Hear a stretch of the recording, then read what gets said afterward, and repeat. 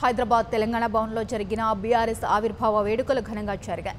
ఈ నేపథ్యంలోనే భారత్ రాష్ట్ర సమితి జెండాను సీఎం కేసీఆర్ ఆవిష్కరించారు. అనంతరం కేసీఆర్ ఢిల్లీలో ఎర్రకోటపై ఎగిరేది గులాబీ జెండానే అన్నారు.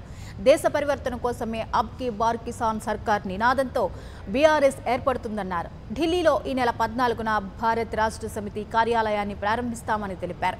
తన ప్రతి ప్రస్థానంలో అవహేళనలు సర్వసాధారణమన్న సీఎం తెలంగాణ కోసం టీఆర్ఎస్ ఏర్పాటు సమయంలోనూ ఎన్నో విమర్శలు చేశారని పేర్కొన్నారు. కర్ణాటక ఎన్నికల్లో బీఆర్ఎస్ పోటీ చేస్తుందని కేసీఆర్ అన్నారు. ఎన్నికల్లో గెలవాల్సింది ప్రజలు రాజకీయ పార్టీలు కాదని వ్యాఖ్యానించారు.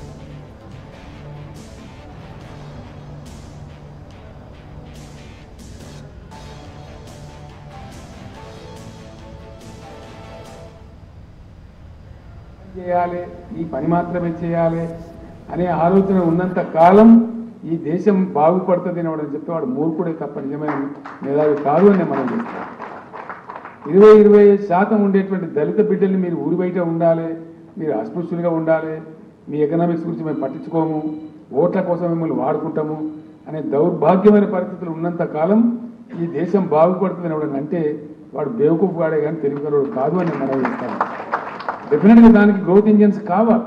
దానికోసం పెట్టాలి.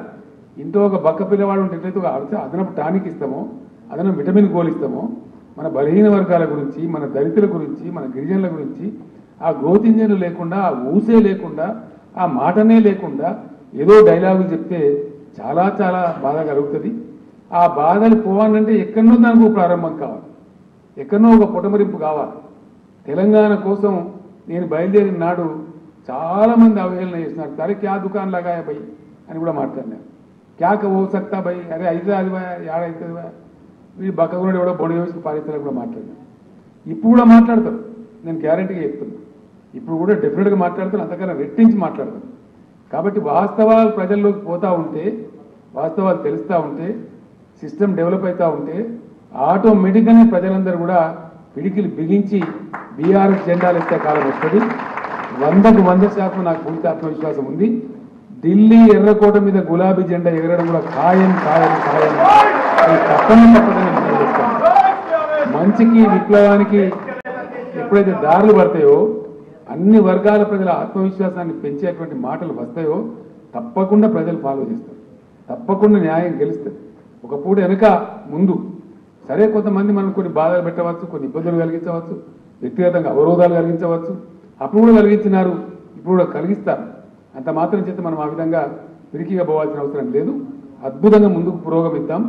ఈ వెలిగినటువంటి వెలుగును ఈ భారత రాష్ట్ర సమితి అనేటువంటి ఒక వెలుగు దివ్యను దేశం నలుమూలలకు విస్తరింపజేసి ఒక అద్భుతమైన బాట వేసి తెలంగాణ కీర్తి కిరీటాన్ని భరతమాత పాదాల దగ్గర పెట్టి ఆ భరతమాత యొక్క సంతృప్తిని కళ్ళారా చూద్దామని చెప్పి మనవి చేస్తూ అటువంటి అంకిత భావంతో మనం స్టార్ట్ అయినాం.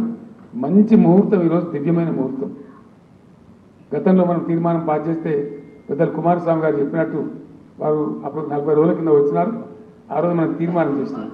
ఎలక్షన్ కమిషన్ వాళ్ళ యొక్క ఫార్మాలిటీస్ అబ్జెక్షన్స్ మంచి చెడ్డానికి పూర్తి చేసి నిన్ననే నాకు దాదాపు మూడున్నర అక్కడ ఒక మిత్రుని పెళ్ళికి నేను వెళ్తే నేను అక్కడ నుంచి ఫ్లై అయిన తర్వాత గాలిలోనే చూసిన నేను మెసేజ్ కూడా సెల్ ఫోన్లో నేను ఎయిర్లో ఉన్నప్పుడు ఆ మెసేజ్ వచ్చింది.